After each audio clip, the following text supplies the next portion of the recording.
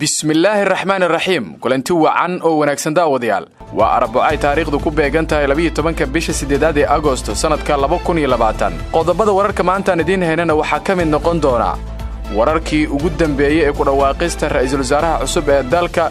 iyo murashax madaxweyne oo loo yeedhay si ra'iisul wasaare looga dhigo xog ku saabsan shakhsiga uu gacanta ku hayo madaxweyne farmaajo ayaan wararkeenna ku soo gudbin doonnaa maanta. Xog ku saabsan madaxweyne farmaajo oo ku dhacay dabin ay u maleegeen mucaaradka dalka. Villa soomaaliya oo dhaleeceen weyn kala kulmaysa dagaalkii ka dhacay xabsiga dhexe ee xamar. Ganacsatada qaadka ee kenya oo ku gacan seertay dalab ay u gudbiyeen madaxweyne farmaajo. Guddoomiyaha maxkamadda sare ee dalka oo amar ku bixiyey in la xidho guddoomiyaha maxkamadda degmada hodan kadib markii uu ka hor yimid xilka qaadis uu ku sameeyey guddoomiyaha maxkamadda sare. Iyo faysal cali waraabe oo si cajiiba uga hadlay shirkii mudullood ee muqdisho lagu soo gebagabeeyey waa hagaag daawadayaal intaasaa daawateen waxay hayeen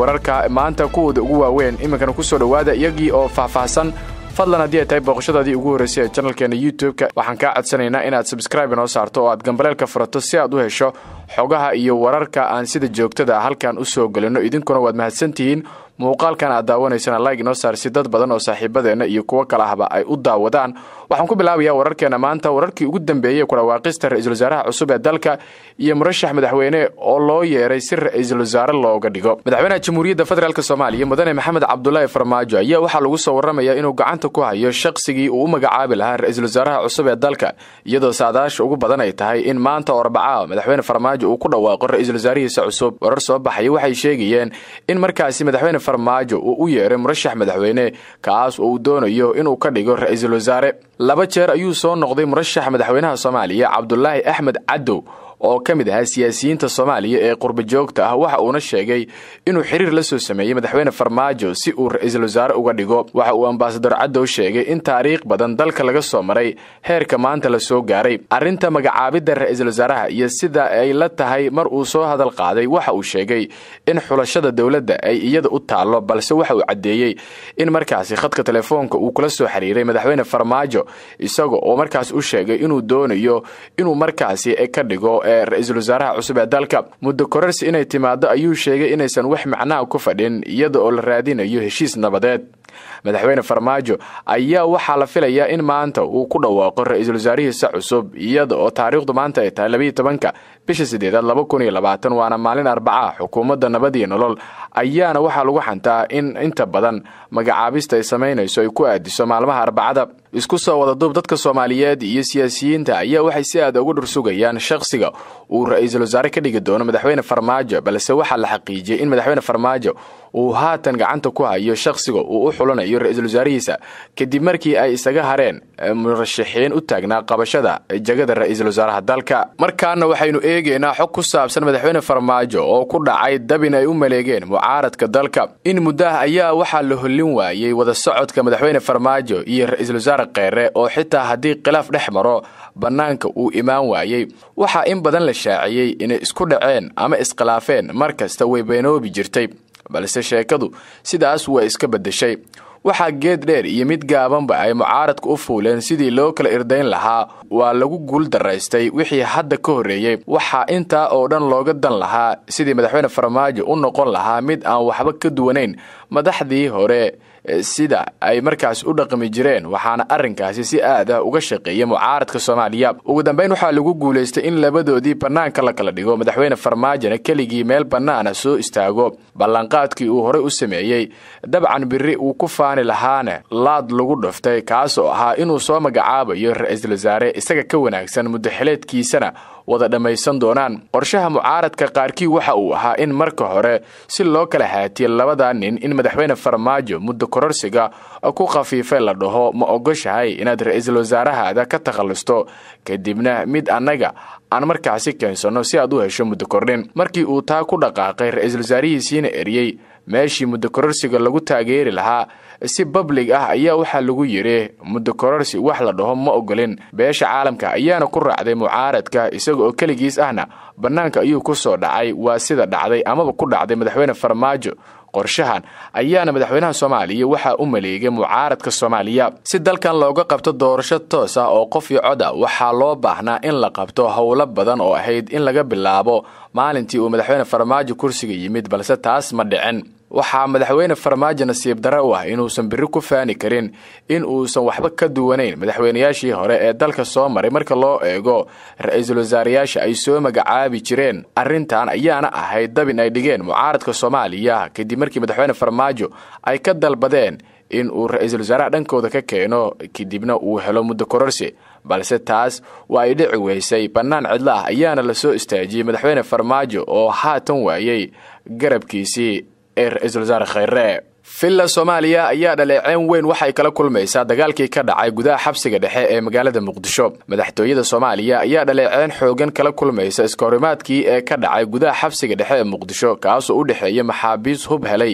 iyo ciidamada asluubta ee waardiyaha ka ahaa xabsiga. Dadka wax ku qora baraha bulshada oo saacadihii la soo dhaafay aad u hadalhayay arrintan ayaa ku tilmaamay mid abaabulkeeda leh islamarkaana ka turjumaysa heerka ay gaarsiisan tahay habacsanaanta ka jirta xabsiga iyo shakiga laga qabo isku milinka dowladda iyo al-shabaab. Dad badan ayaa aaminsan inaysan shabaabku weerar ka dhex geysan karin lahayn ee xabsiga dhexe ee xamar. Haddii aysan markaasi jirin gacan gudaha ah waxaana su'aal badan laga keenay suurtagalnimada in maxaabiista ay gacanta ku dhigaan hub intaa la-eg oo ay dhibaato intaas la egna ku gaarsiiyaan. Maxaabiistii ee markaasi ka dhex dagaalantay xabsiga dhexe ayaa la sheegayaa inay ku dagaalameen bastoolado ayna qarxiyeen ku dhowaad lix bambaano oo dhawaqooda laga maqlay xaafadaha nawaaxiga ka degmooyinka xamarjajab iyo xamarweyne dowladda soomaaliya ayaa sheegtay inay baaritaan ku samaynayso dhacdadii xabsiga dhexe ee xamar hase yeeshee dad badan ayaa durbadiiba rajaxumo ka muujiyey in dowladda soomaaliya ka soo saari doonto natiijo daafuran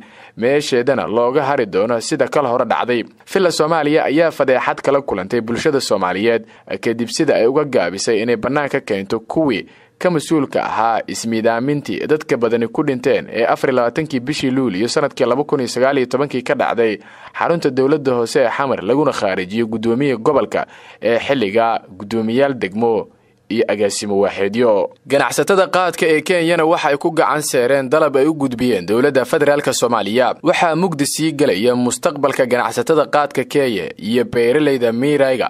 kadib markii uu istaagay ganacsigii weynaa ee kala dhexeeya soomaaliya halkaasi oo laga joojiyey qaadka qaar ka tirsan ganacsatada qaadka ee kenya oo soo gaaray muqdisho ayaa kulamo la qaatay qaar ka tirsan wasiirada xukuumadda soomaaliya waxaana xogta ay sheegaysaa in kulamadaas ay ku soo dhammaadeen natiijo la'aan. Rajada ganacsatada qaadka ee kenya ayaa ceel ku sii dhacday markii dowladda soomaaliya ay sheegtay in arrintan ay keliya kala hadli karaan dowladda kenya. Guddoomiyaha ganacsatada kenya muwa muhamed oo la hadlay ee warbaahinta la yidhahdo daily nation ayaa waxa uu sheegay in madaxweynaha soomaaliya maxamed cabdulaahi farmaajo uu diiday codsigooda ahaa in dib loo fasaxo qaadka sida uu hadalka u dhigay. Madaxweyne farmaajo wuu diiday codsigeenna ah inaan dib u bilowno ganacsiga miirowga ayuu yidhi guddoomiyaha ganacsatada ee kenya. Guddoomiye mowa ayaa aaminsan in tallaabada dowladda soomaaliya ay ku joojisay qaadka ka imaanaya kenya ay jawaab u tahay go'aankii ay kenya ku gubtay dhowaan bariis sonkor iyo kalluun badan oo ka socda soomaaliya. Dowladda federaalka ee uu hogaamiye farmaajo ayaa dakhli tiro badan ka heli jirtay qaadka waxayna wasaaradda maaliyadda sheegtay in sannadkii laba kun iyo sagaal iyo tobankii laga helay dakhli dhan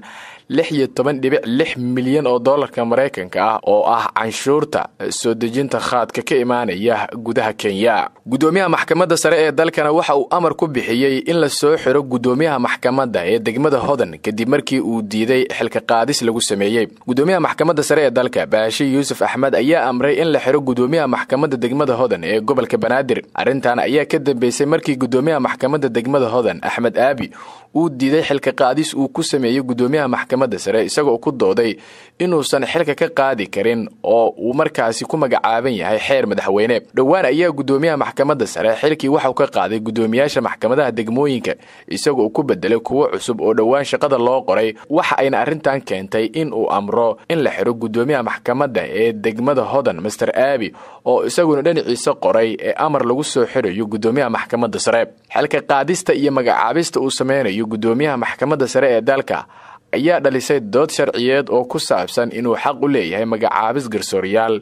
iyo inuu xilalka ka qaado ugu dambayntiina injineer faysal cali waraabe ayaa waxa uu si cajiiba uga hadlay shirkii mudulood ee dhowaan ku soo gabagaboobay magaalada muqdisho. Gudoomiyaha xisbiga mucaaradka ah ee ucud ee somalilan injineer faysal cali waraabe ayaa si faahfaahsan uga hadlay shirkii dhowaan beelaha mudulood ugu soo gabagaboobay magaalada muqdisho isaga oo sheegay inuu aad u soo dhoweynayo. Gudoomiye faysal waxa uu sheegay in beesha mudulood uu ku bogaadinayo inay haatan soo baraarugeen islamarkaana ay garteen in iyaga oo keliya uu canshuuro. Nin aan tegi deegaanadii laga soo doortay sida uu hadalka u dhigay. Dhanka kale faysal cali waraabe waxa uu saxaafadda deegaanada somalilan kula dardaarmay inay joojiyaan fidinta wararka been abuurka ah oo uu sheegay in dad cadow ah ay somalilan ka abuurayaan.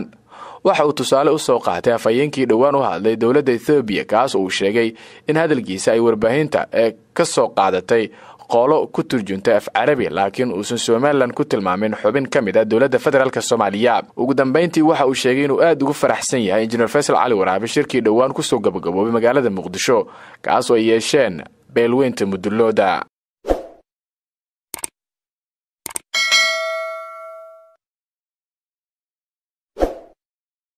wararkan wararkooda xiga intaan mar ku kulmi doono